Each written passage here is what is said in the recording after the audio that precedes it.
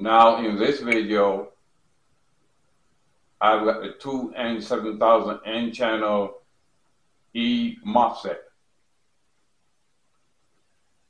Across the front of the transistor, I've got a 9 volt DC source. On the drain side, I've got a 3 volt LED.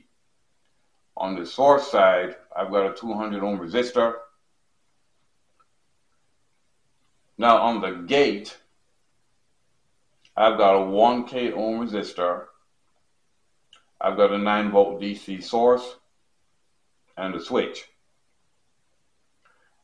And I have another resistor going from the gate to the negative side of the DC source. This value, this value of this resistor has yet to be determined.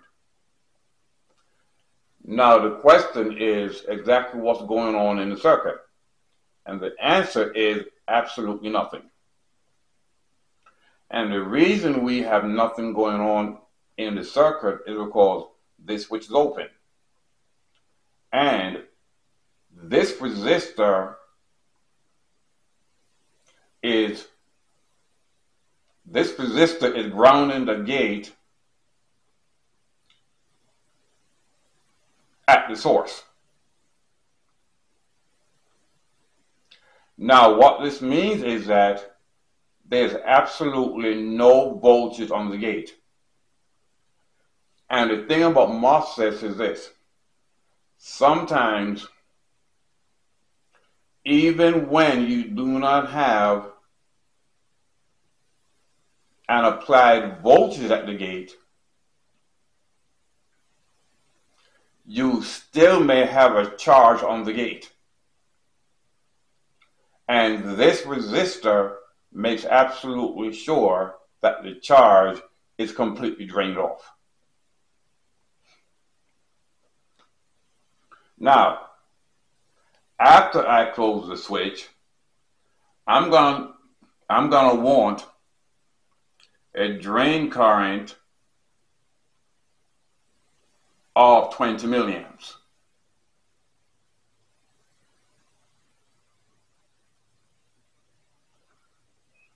And the source current would also be 20 milliamps.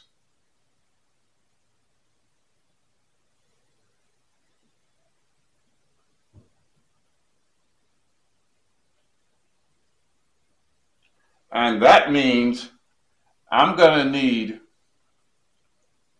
a voltage across my 200 ohm resistor of 4 volts. Now, in order for me to have my 4 volts, I'm going to need 6 volts across my resistor right here. This resistor will be the resistor that supplies the gate voltage. Now, I'm going to need to determine the value of my resistor.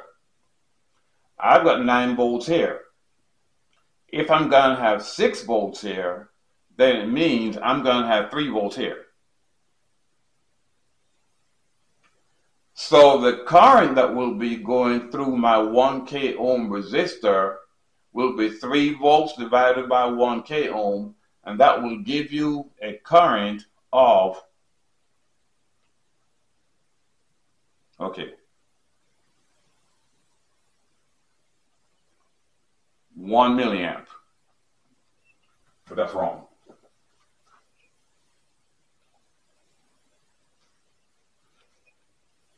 A current of three milliamps.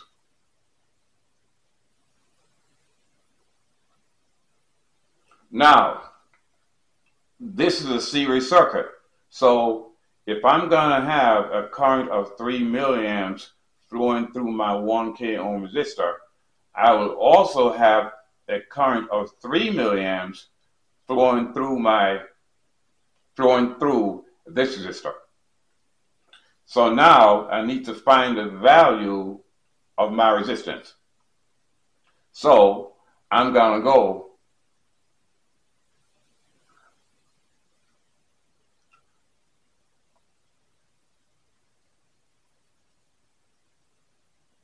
6 volts divided by 3 milliamps.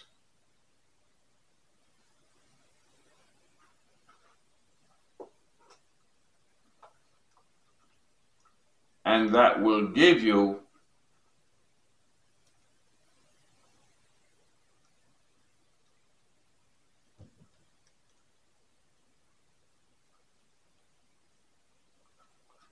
that will give me a resistance of 2 k ohms. So my resistor value right here will be 2 k ohms.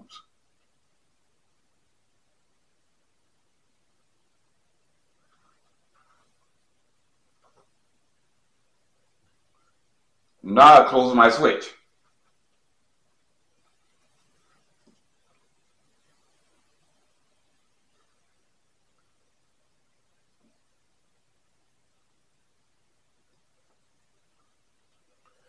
Now my 3 milliamps of current is now flowing through the circuit and I'm getting my 6 volts. Now, I'm going to have 3 volts here. I'm to have 4 volts here. And my VGS will be 2 volts.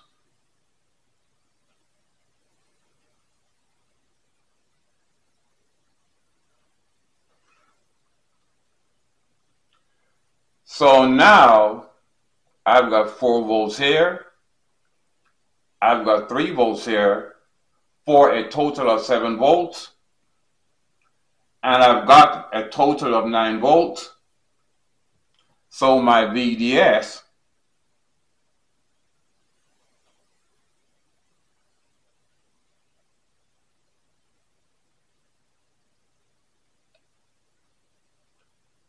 my VDS will be 2 volts. 4 and 3, 7, 7 and 2 equals 9.